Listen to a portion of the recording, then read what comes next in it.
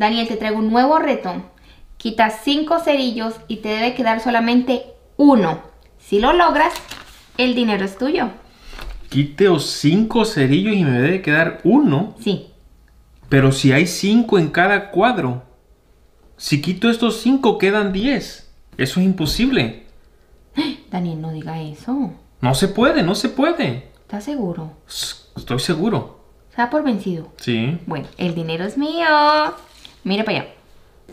Dos, tres, cuatro, cinco. Uno. ¿Cómo le quedó el ojo? Eso es trampa. Eso no es trampa. Eso es trampa. Ellos no sabían. Ellos sí sabían, Daniel. Ellos no sabían. Ellos sí sabían. ¿Verdad que eso es algo muy simple, muy único? ¿Ustedes sabían esto? Sí.